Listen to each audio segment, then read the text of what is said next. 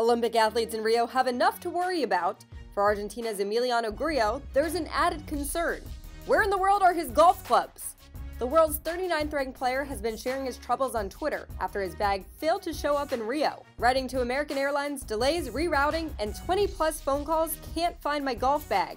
I'm going to miss my chance to compete in the Olympics. The airline tweeted back, We have a team of folks working on this for you, Emiliano. And the golfer didn't exactly seem reassured. At least he seems to have a sense of humor conducting a poll, Where do you think my clubs are? Adding, if they were pokey clubs, they would all be looking. Hashtag Pokemon. He's scheduled to begin play on Thursday.